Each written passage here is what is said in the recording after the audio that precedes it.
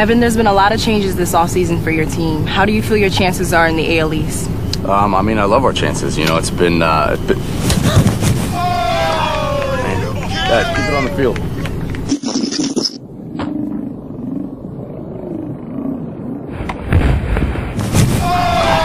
Man, guys, keep it on the field.